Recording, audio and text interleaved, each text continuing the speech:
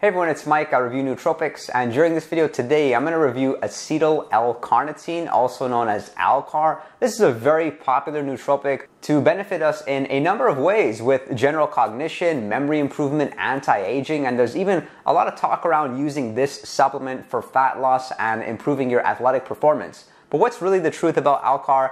I've used a number of nootropics over the years, and Alcar is one supplement that I'm personally not taking. So I'll let you know why that is. Consider this the whole overview of Alcar. During this video, you're gonna learn what is acetyl L-carnitine. We're gonna address the benefits, how you should take it during the day. Are you better off taking it in a single dose or a split dose? Should you cycle off of it? And what you can do as far as maximizing the absorption of Alcar.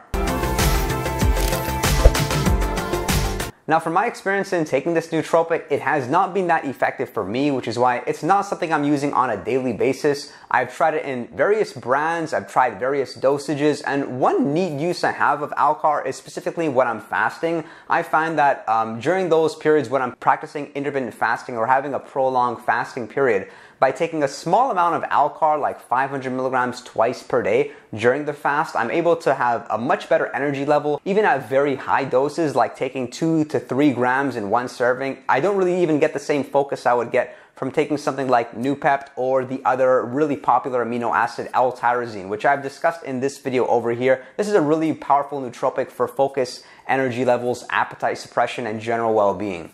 However, though, there is something to be said about its effects on cognition because three of my favorite nootropic blends all have acetyl L-carnitine in their formula. The first looking here at Qualia Mind. This is one of my favorites because they have about 25 ingredients which have proven benefits around cognition. Another product which I really like, this is Brain Food by Natural Stacks, a really good product they have uh, 319 milligrams of Alcar along with alpha GPC. And then the third being this very popular nootropic blend called Cognetics, which does contain 100 milligrams of N-acetyl L-carnitine. What specifically is L-carnitine and what is it responsible for? Think of carnitine like a supplement you would take in order to help mobilize fats because we generally are very good and efficient at utilizing carbohydrates for fuel through the process of burning glucose, but this supplement actually aids in the process of helping you to burn fat. All right, so how do we take acetyl L-carnitine? Here's the way in which I would recommend it. I prefer taking it in a split dose rather than a single dose, so you're better off having it a few times during the day, maybe two to three times per day versus just having it once. I would recommend you take Alcar specifically before on, you can say, important tasks that you have during the day if you are using it for cognition and as a nootropic. As always though, do assess your tolerance. Start with a very low dose. I would recommend you start off with something like 200, maybe 300 milligrams once per day.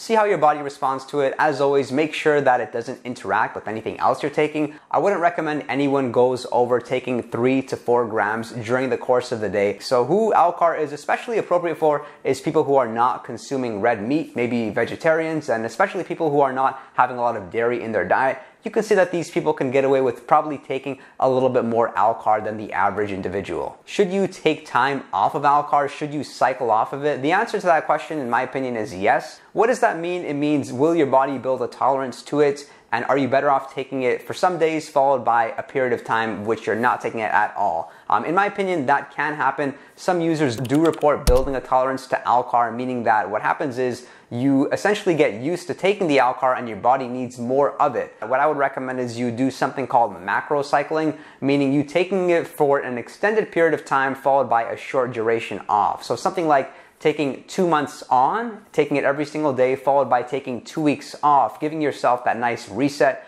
Perhaps you can use something else to aid you with your energy levels during that two weeks, something like maybe L-tyrosine, maybe mucuna pruriens, which is something else which is very effective for uh, memory, energy levels, alertness. I made a video on that particular nootropic, which I will link right here. You'll probably find that helpful and then getting back onto it after that two weeks off. And this way you're able to ensure you're getting the most out of it while being able to reap the benefits of it long term. Let's talk about maximizing the absorption of Alcar. There's a few stacks which you can take. First being uh, taking Alcar with alpha lipoic acid. Come to think of it like one of the most powerful antioxidants out there and it does something very neat. It actually improves your body at breaking down food into fuel and makes that whole process a lot more efficient. The second stack, which is very popular, is taking Alcar along with CoQ10, specifically for improving your memory. These two nootropics are especially recommended for people who are looking to use Alcar for its benefits with anti-aging. And then the third stack, and perhaps the one which you can say is more practical for somebody like you and me who's looking to be more efficient, get more done, maybe make more money or improve our grades,